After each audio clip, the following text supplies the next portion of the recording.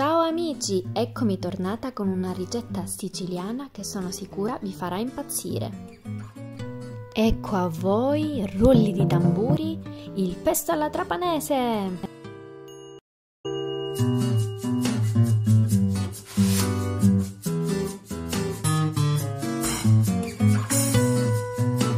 Mettiamo a mollo i nostri pomodori in acqua calda e poi così sarà più semplice togliere la pellicina. Togliamo anche i semini e li puliamo per bene.